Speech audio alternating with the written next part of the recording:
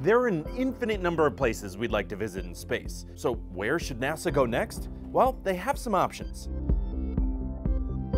They could pay a visit to a comet so they can take a sample to learn what they're made of, which could be important information to know should we have to swat one away. We kinda wanna know what we're up against. Or should we take a peek at an alien ocean where it's thought the building blocks of life are prevalent? There could be something there waiting for us. That's the decision NASA has to make. Like a toddler trying to decide between two different toys, they want both, but they can't have it. It can only be one. The choice is up to NASA's New Frontiers program. Every few years or so, the program accepts pitches for ideas of places the space agency should go. There are three rules. One, they have to center around solar system investigation. Two, be able to be completed within a relatively short time frame.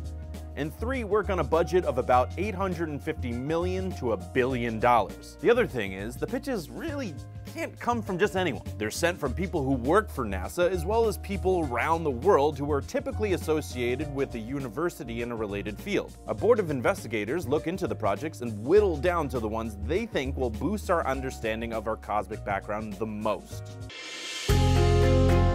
New Frontiers was granted funding in 2003 from Congress and already has several missions either presently running or completed. New Horizons very publicly explored Pluto a few years back, sending these images revealing the former planet's heart. Juno is currently investigating Jupiter, specifically things like the gas giant's magnetic fields, cloud opacity, and temperature profile. Finally, there's OSIRIS, which is currently on its way to an asteroid where it will land and capture a sample to bring back home. The point is to learn more about what asteroids are made of, and whether or not they're the building blocks of life scientists think they might be. So that brings us to the latest round of New Frontiers and the choice that's laid out in front of NASA. Sort of like a March Madness basketball tournament of space projects, the field of suggestions recently went from 12 to 4 and down to 2. One of the proposals is called CAESAR, which comes from scientists at Cornell. They want to head to the same comet that the European Space Agency visited in order to return a sample. It's a very similar project to the OSIRIS mission,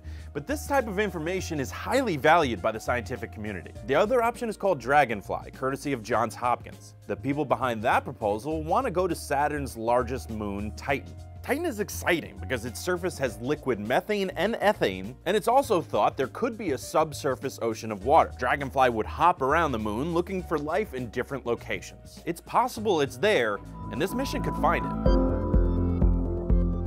The two teams are each given $4 million for 2018 and given the year to develop their blueprints. Once reviewed by a team of scientists at NASA, the final decision will be announced in June of 2019. So where do you think NASA should go? One wants to see where life comes from, and the other wants to see if there's life elsewhere. Either way, projects like these will vastly expand our knowledge and change life for us here on Earth.